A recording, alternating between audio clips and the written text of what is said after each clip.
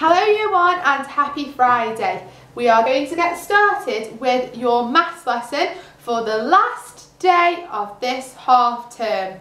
And I'm going to start by giving everybody a super round of applause because you have worked really, really hard with your year two booklets.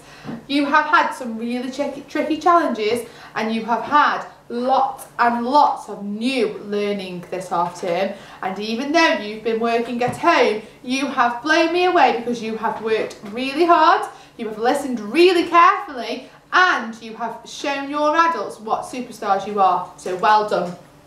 Now my fabulous Friday shout outs are to Samuel and Alexa for your fractions this week you really, really worked hard drawing all of your shapes and finding those fractions for me, so well done.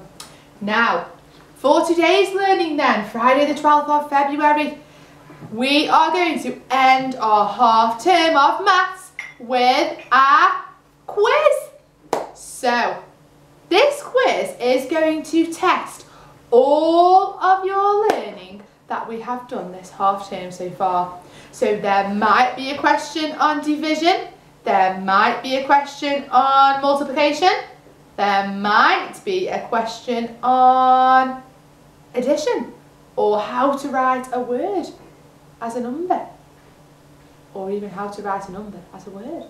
So I would like you to get a piece of paper and a pencil and you need to write down the numbers from 1 to 10. So down the side of your page, you need number 1, 2, 3, 4, 5, 6, 7, 8, 9 and 10. There are 10 questions in my quiz today. Okay, so pause the board if you need to. Get ready. Maybe have your whiteboard and your whiteboard pen on the side. So if you need to do any working out, you could use that. And then we can start our quiz. Okay, now because it is a quiz, I'm going to say parents, no conferring, so that means no helping. Let's see. Let's see what we can do today, okay? Let's have a little bit of fun, see how hard we can work. So, we'll go through each question, and then I'm not going to go through the answers, okay? So it gives you lots of time to really check, make sure you're happy with your answers, and then you're going to send them me and then I will email you back and let you know your score. I wonder who will be at the top of the leaderboard. I think you will all get 10 out of 10 because you've all been working so hard. Are we ready? Question number one. What is one more than 47? I know you're thinking, Miss James, this quiz is going to be easy peasy. Well, they do get a little bit trickier. What is one more than 47?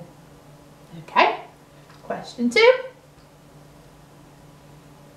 Write the number 87 as a word. Now, for this question, I am going to be quite a meanie and I am going to be looking for spelling. If it's not spelled correctly, uh -uh, no mark. Okay, I'm going to be really tough. So 87 as a word. Brilliant job. Number three.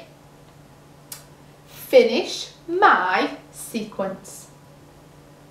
I'm not going to say it because that will give it away. But you've got two blank spaces. So for your answer, I would like to see each number written in the right sequence. Okay? Don't forget as well, you can pause the board at any time that you need to, okay, when we're going through these questions, or go back if you need to. Question number four. What is one less than 56?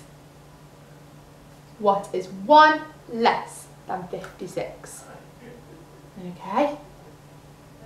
I know you're shouting that one straight at the screen. Question number five. Halfway through. What do you need to add to 13 to make 20? What do you need to add to 13 to make 20? Very tricky. Okay, give you a little clue for this one. You might want to write it as a sum with a missing number. That might give you a really, a really good idea of how to solve that. Okay, number six. Solve my sum. 54, add 14. Okay, another little clue. You might need to partition. Okay, there we go. Give you a little clue. I'm really helping you really, aren't I, here? It's meant to be a quiz and I'm giving you lots and lots of clues. Number seven, question number seven.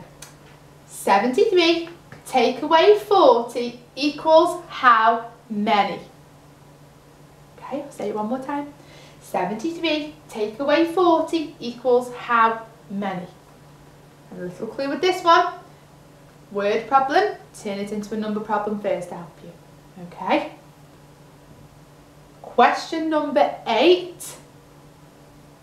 How many even numbers are there between 0 and 30? Okay, how many even numbers are there between 0 and 30? Think about our even numbers, think what we might need to count in. Okay, question number 9. What is 7 times 4? Or 7 multiplied by 4? Okay. Quite a tricky one. How are you going to solve that today? What is 7 multiplied by 4? And then last but not least, question number 10. Now, this is the trickiest one of all. 32 divided by something equals something. Now, there might be more than one way that 32 can be divided, okay? So as long as your two answers are correct, you will get a point. Bonus point if you can give me more than one answer because I know there is more than one way to solve that problem. So 32 divided by something equals something. So for every answer you give me for question 10, you will get an extra point. So this question could really see you soaring to the top of the leaderboard. Amazing, have a really good go. Okay, so that's all of our questions then for our maths quiz for today. Well done for your super half term of learning. You have been amazing, okay? And the work that you have been sending has been making me smile every day. So have a brilliant half term, have a lovely rest, you deserve it. And don't forget to email me your answers and I will let you know your score, okay? And maybe on, when we come back after half term, we'll have a little leaderboard and see who got what score. But I know that we're all going to have got at least 10, okay? Which is top marks. Have a lovely half term and I'll see you in a week.